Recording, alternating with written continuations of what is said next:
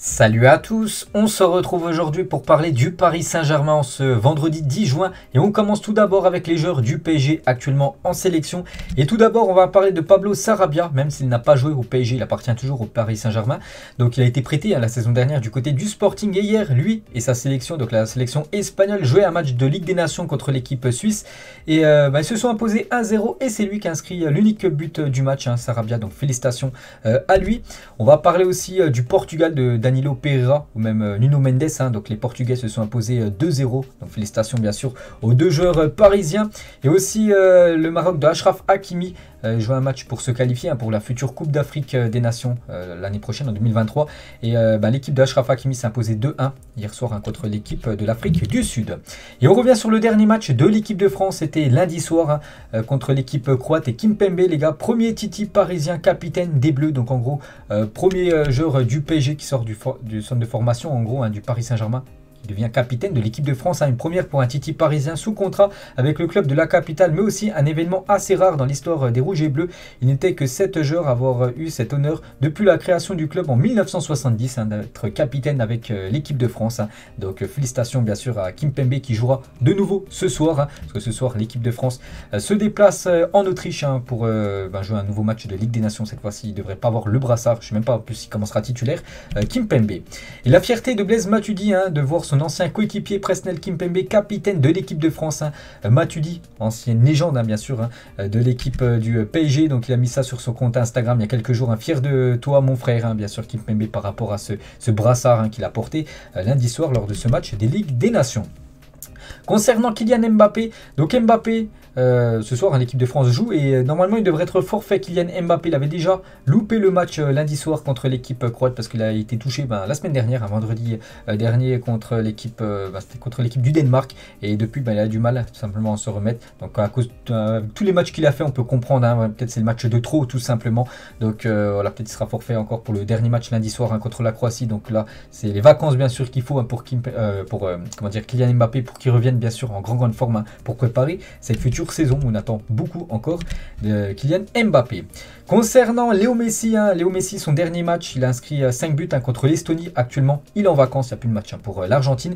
Et les meilleurs buteurs de l'histoire de l'Albi Céleste, ben, c'est bien Léo Messi, l'attaquant parisien, 86 buts. Il devance Batistuta ou même euh, Kun Agüero. félicitations à Léo Messi. Et Léo Messi, les gars, avec l'Argentine depuis le 10 septembre 2021, il a fait 10 matchs il inscrit 10 buts en 824 minutes. Et avec le PSG, hein, c'est un peu moins bien. Voilà, c'est stats, hein, c'est beaucoup moins bien même. 34 euh, matchs, seulement 11 buts. Hein. donc un but de plus. mais bon, il a disputé beaucoup plus de minutes avec le PSG qu'avec euh, sa sélection. 2872 minutes pour euh, Léo Messi. Seulement 11 buts en espérant que la saison prochaine soit bien meilleure que cette saison pour ce joueur qui a remporté quand même 7 fois le Ballon d'Or. Et Paredes, les gars, son collègue parisien, aussi collègue en Argentine, sur Messi. Si je devais gagner une Coupe du Monde, je crois que je serais plus heureux pour Messi que pour moi. Donc euh, voilà ce que dit Paredes bien sûr par rapport à cette future Coupe du Monde. Et toujours avec euh, bah, l'Argentine de, Léo Messi ou même Paredes ou même euh, Di Maria hein, qui quitte le club, on sait. Donc il y aura une série sur le sacre de l'Argentine lors de la dernière Copa América qui sera disponible le 10 juillet prochain sur Prime Video. Voilà pour ceux qui sont intéressés. Des nouvelles de Sergio Ramos. Hein. Ramos est encore euh, sous contrat avec l'équipe parisienne hein, la, saison prochaine. Donc se prépare pour la saison prochaine actuellement. Il est en vacances. Hein. il n'a pas été convoqué par euh, le groupe euh, espagnol. Donc actuellement il est en vacances Sergio Ramos. Et il est en mode boulot, en mode entraînement en espérant lui aussi que les blessures laissent Sergio Ramos et qu'il soit quelqu'un de très important. Parce que c'est vrai qu'il a très peu joué cette saison. Après quand il a joué il a été plutôt bon Sergio Ramos. Mais on l'attendait surtout en Ligue des Champions. Il a joué aucune minute cette saison en Champions League. En espérant bien sûr qu'il revienne en forme. Parce qu'on a besoin bien sûr de Sergio Ramos Ramos hein, saison prochaine. Malgré son âge avancé, c'est quand même un leader. C'est un joueur qui a beaucoup d'expérience qui peut faire euh, passer un cap, bien sûr, à cette équipe parisienne. Concernant Keylor Navas, hein, donc sur son avenir, il a dit pour quitter un club, trop de choses doivent se passer. Ce n'est pas aussi facile que de vendre un cheval, hein, de le mettre sur un camion et de conclure un accord. Il y a beaucoup de choses importantes. Il a également dit, j'ai un contrat de deux ans et pour moi, cela parle de lui-même. j'ai toujours été un combattant et j'aime les défis parce qu'il sait qu'actuellement maintenant, le PSG a pris une décision concernant bah, ce poste de gardien pour la future saison. Donc ça sera Donnarumma le gardien numéro 1 et Navas sera le gardien numéro 2. Il n'y aura pas encore une saison euh, comme la saison qui vient de s'écouler voilà, où le, les gardiens vont goler un match sur deux, tout ça. Non, ça sera vraiment un gardien voilà, titulaire. Donc ça sera normalement Donnarumma, lui, sera la doublure. Donc peut-être il va goler seulement que quelques matchs. Il a dit j'aime les défis, voilà, même si c'est de la concurrence, ben voilà, peut-être il va rester comme du côté du PSG, mais c'est qu'il va très très peu jouer. Il golera peut-être seulement les matchs de Coupe de France. Euh, on va parler euh, d'une déclaration de Mbappé, les gars, pour PSG Inside, donc le, Twitter officiel, ou le site officiel euh, tout simplement du PSG. On a toujours dit qu'on voulait entrer dans l'histoire du PSG, et maintenant on fait aussi partie de celle de la Ligue 1. Personne n'a gagné plus de titres que nous. On est heureux de ce nouvel accomplissement par rapport à ce dixième titre de champion de France gagné. Donc n'oubliez pas que le PSG au même niveau que la Saint-Etienne a 10 titres remportés par ces deux équipes. Donc voilà, a un titre la saison prochaine pour le PSG, bah, ça sera l'équipe la plus titrée niveau euh, euh, Ligue 1 bien sûr, dans l'histoire du championnat. On va parler euh, du mercato. Donc ce matin, là, à minuit, les gars, l'ouverture du mercato est officiellement lancée. Hein, donc ça sera bah, là, du 10 juin jusqu'au 1er septembre prochain. Donc bien sûr, le PSG, hein, depuis comme quelques saisons, depuis plus de 10 ans, toujours une, équipe, hein, la période de mercato qui est toujours très très active. Et euh, la une journal l'équipe hier. Hein. donc le PSG prendra son temps, voilà, concernant bien sûr ce, mercato. Voilà, en gros, euh, d'après l'équipe, ils ne vont pas se précipiter, cette équipe euh, du PSG concernant les recrues. Ça pourrait arriver voilà, courant juillet, peut-être même fin août. De toute façon, c'est jusqu'au 1er septembre. Donc voilà, il y a de quoi faire. Et d'après euh, ces colonnes du jour, donc euh, l'équipe, hein, révèle que le PSG dispose à ce jour d'un budget transfert d'environ 45 millions d'euros. Bon, après, c'est l'équipe qui dit ça. Pour gonfler celui-ci, il faudra vendre, comme espère le faire le club parisien, avec plusieurs euh, indésirables. Donc les indésirables, on pense directement, on pense à Icardi, on pense peut-être à Herrera, on pense peut-être à Kerrer, on pense à Kurzawa, voilà, tous ces joueurs qui jouent très très peu, mais voilà, qui veulent rester du côté de Paris, voilà, parce qu'ils savent qu'ils ont un beau, un beau salaire. Hein. Donc voilà, il va falloir quand même que ces joueurs-là, il y en a quelques-uns quand même quittent euh, le club. Hein. et euh, du coup, voilà, le PSG aura une plus grosse enveloppe. Mais bon, 45 millions d'euros, je pense que le PSG aura bien plus hein, euh, pour investir. Et on espère bien sûr que le PSG va recruter très intelligemment hein, les postes ou des, enfin les postes prioritaires. voilà, parce qu'il y en a où il y a déjà pas mal de monde quand même. donc on verra, on verra bien sûr ça sera quoi le mercato parisien. Et on va parler ben voilà des peut-être des futurs recrues tout ça. Donc tout d'abord Arnaud Calimundo, joueur du Paris Saint-Germain. Donc il a, il a été interviewé par le magazine SoFoot. Si euh, je pense avoir ma place au PSG, oui, je le crois, je connais mes capacités, je sais ce que je peux faire. Tout ne dépend pas de moi. N'oubliez pas que cette saison, il a été prêté à l'équipe euh, de Lens. Hein. Il dit qu'il euh, pense vraiment qu'il peut avoir une place, de, bah, une place tout simplement du côté de Paris concernant cette future saison. Toujours avec lui, hein, Lens, ça restera comme ma maison. Je verrai, j'ai des ambitions, des objectifs personnels. J'ai envie d'accomplir, jouer l'Europe par exemple. Je ne me ferme aucune porte. On verra ce qui va se passer pendant voilà, cette période de mercato et des discussions avec le PG, voilà, si le PG veut le conserver ou non. Donc euh, oui, oui, il y en a eu. Maintenant, il y a une réorganisation au niveau de l'organigramme, ce qui fait que je n'ai pas encore eu la possibilité de parler de la suite. Et surtout, il aimerait savoir qui est le futur entraîneur, bien sûr, de cette équipe parisienne, pour voir, bien sûr, si l'entraîneur va compter sur Kalimundo ou non, concernant cette future euh, saison. Donc, euh, aux dernières nouvelles, hein, le PG ne compte pas miser voilà, sur lui hein, la saison prochaine. Donc, d'après les dernières nouvelles, après, bien sûr, ça reste à voir, dès que le nouveau coach hein, sera désigné. Concernant Kim Pembe, les gars, Kim Pembe pourrait quitter l'équipe du PSG. Hein. Donc France Football confirme que Thomas Tourel, l'ancien coach parisien, euh, souhaite faire venir euh, Presnel Kimpembe hein, du côté de Chelsea euh, cet été. Thiago Silva lui aurait même envoyé un message pour tenter tout simplement de le convaincre voilà, de, signer hein, du côté des Blues, du côté de l'Angleterre. Donc voilà, il va falloir regarder la situation de Kimpembe qui a actuellement 27 ans. Donc, donc voilà, il va falloir bien sûr que le PSG, qui veut le conserver, soit prolonge son contrat ou peut-être augmente son salaire, j'en sais rien. Mais bon voilà, Kimpembe les gars, il peut peut-être quitter le club.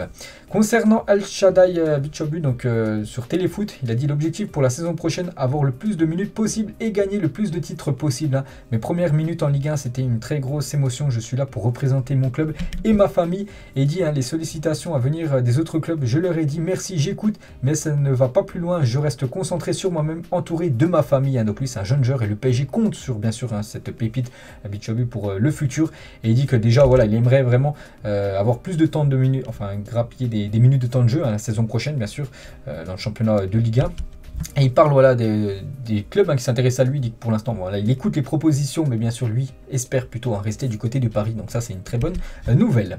Concernant le dossier Chouameni, les gars, donc Chouameni, hein, le PSG, ça, ça, fait plus d'un mois qu'on en parlait, donc on peut dire voilà, que c'est cuit, tout simplement, parce que le joueur Monégas devrait rejoindre normalement l'équipe euh, du Real Madrid. Donc voilà, c'est pas encore euh, définitif qu'il rejoigne l'équipe de Madrid, mais voilà, ça va se faire. Donc voilà, ça sera un joueur, lui, qui ne viendra pas du côté du PSG. Dommage, parce que c'était un, immense joueur avec un énorme potentiel.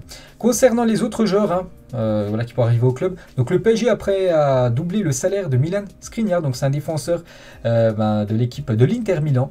Donc l'international slovaque réfléchit à l'opportunité de rejoindre l'équipe parisienne. Luis Campos essaie de convaincre le joueur qui se sent bien en Italie, mais bien sûr le joueur peut bien se sentir en Italie et peut rejoindre l'équipe de Paris, hein, bien sûr.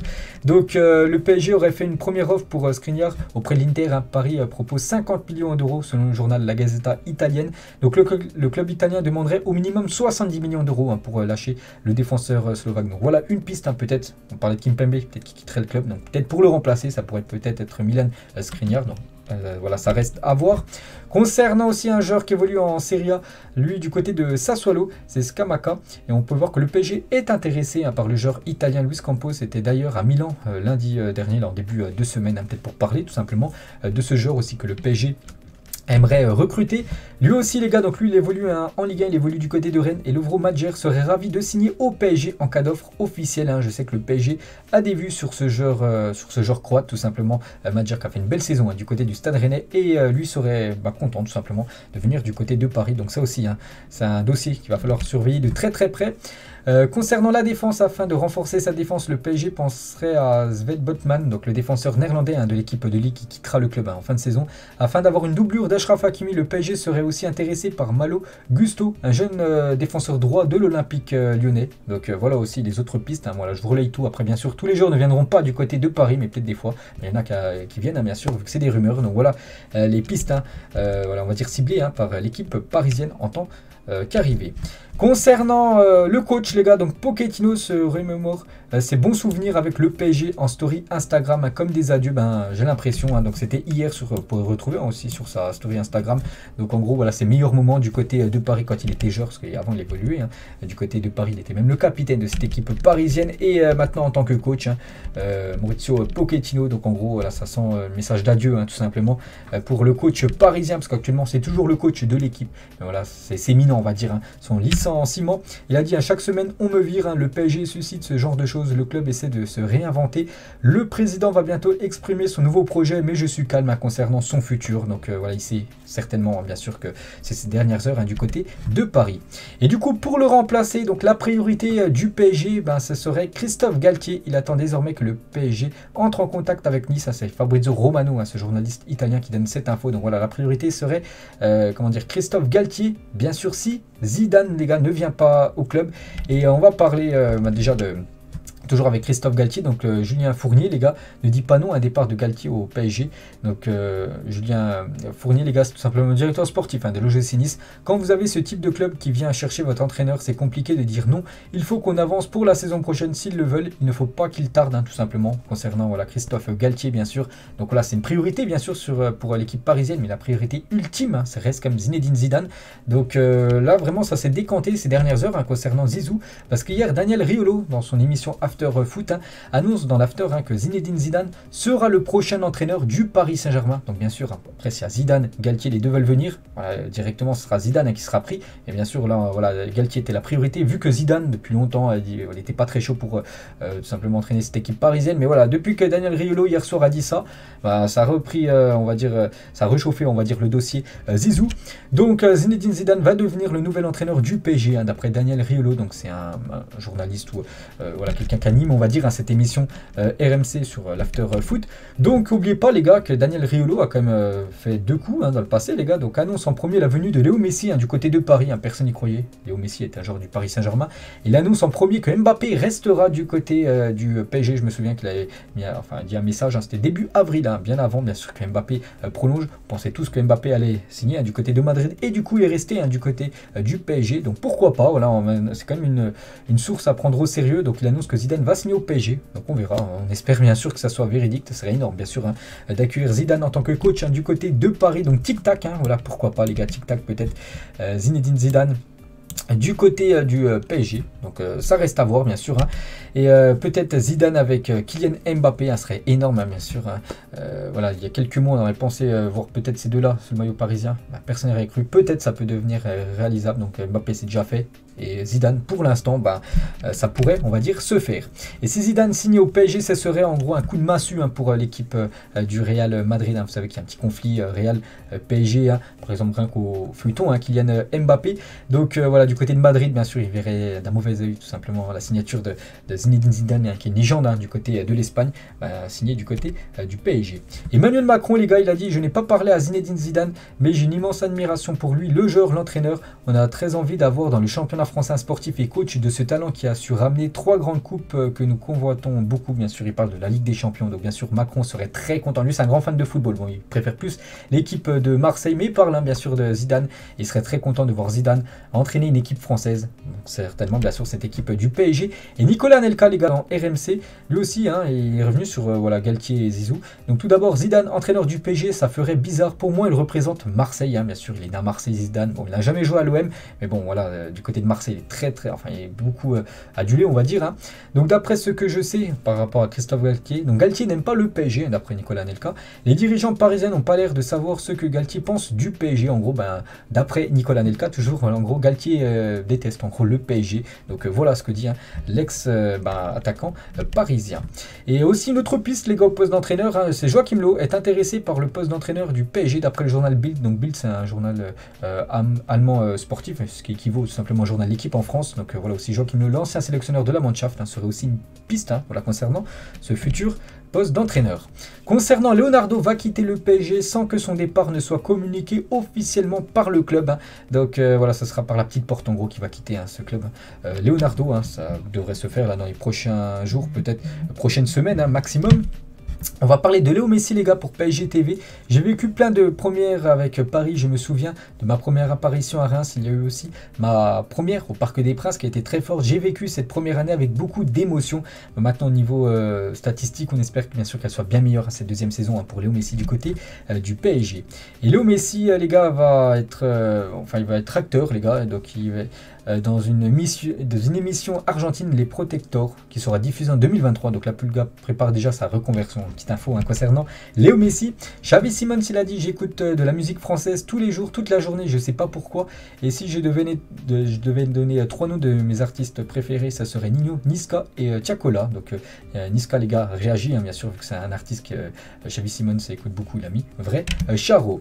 Une petite photo de Neymar actuellement en vacances. Neymar, a vu que le Brésil ne joue plus de match. Hein, donc voilà, sera à la pré-saison, bien sûr, avec le PSG, vu qu'il restera une saison de plus. Hein, du côté euh, du PSG, actuellement en vacances, on peut voir qu'il est avec l'anglais euh, Jess Lingard. On va parler d'un ancien flop hein, du PSG, c'est Ressé Rodriguez, va devenir avec sa compagne un star de sa propre émission de télé-réalité. Une petite info concernant l'ancien euh, parisien. On va parler cette fois-ci du futur maillot du PSG, nouvelle fuite du maillot euh, du PSG pour la saison 2022-2023. Donc voilà, il y a 99% de chances que ça soit ça, bien sûr, le maillot euh, parisien concernant cette future saison avec le nouveau sponsor. N'oubliez pas que Accor, à l'accord là, c'est fini. Ça sera Qatar, euh, Qatar Airways, le nouveau sponsor parisien. Donc, donc voilà, les gars, il va, être, très très beau, hein, bien sûr, ce maillot domicile un parisien qui sera dévoilé là dans les, dans les prochains jours.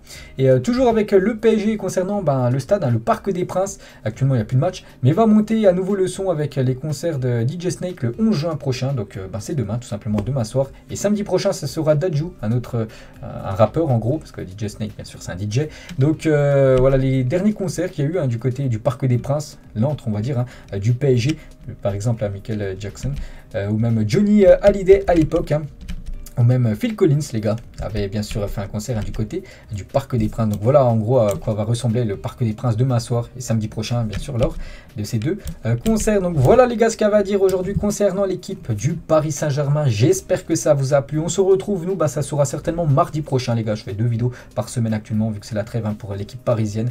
Donc, euh, voilà. Euh, donc bonne journée à vous, bon week-end à vous et à la semaine prochaine. Ciao